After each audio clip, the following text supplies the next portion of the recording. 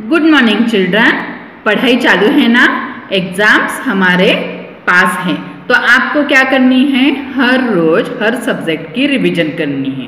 तो देखो, पिछले वीडियो में हमने क्या देखा था? स्वर और व्यंजन। इनका रीडिंग दिया था। कैसे पढ़ते हैं? यह मैंने आपको बताया था। आपको तो अब पढ़ाई अच्छी और इजी लग रही है ना? तो अब इसके आगे क्या है?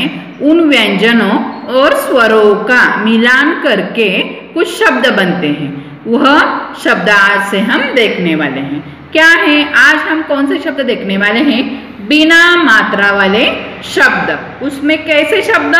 बिना मात्रा वाले, लेकिन कितने अक्षरों वाले? दो अक्षरों वाले शब्द आज हम देखने वाले हैं। अब बस कर, अब बस कर। देखो, पढ़ो और समझो। देखो, पढ़ो और समझो। अब देखो, यहाँ पे एक घर का चित्र दिखाई दे रहा है। ये कौन सा चित्र है?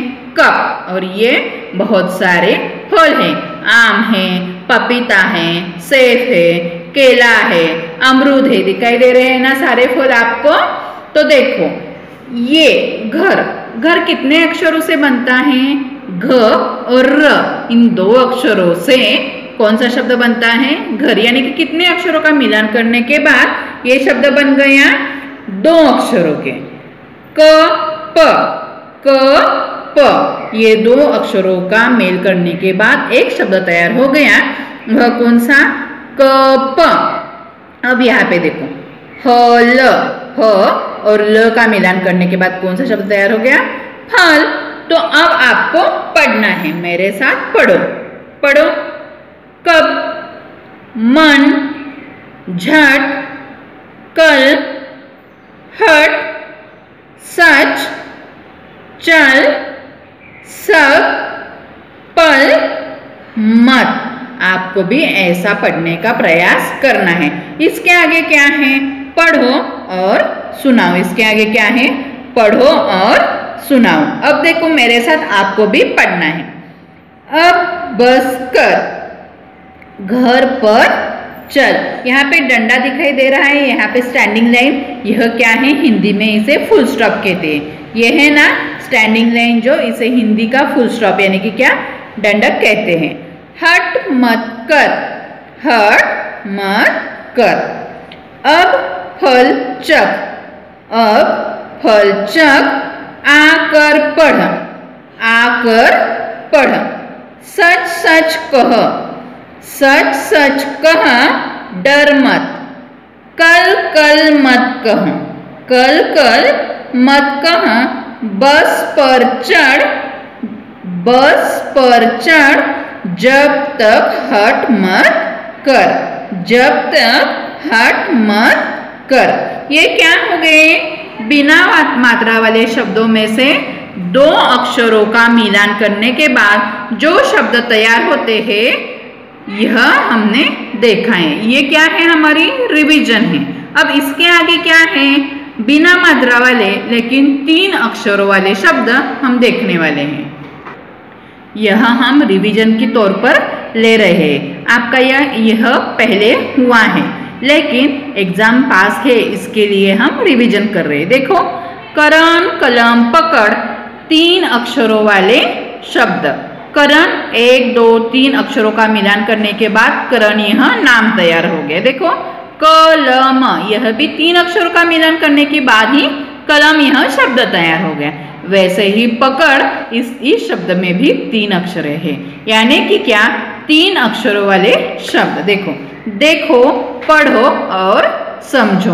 देखो, पढ़ो और समझो।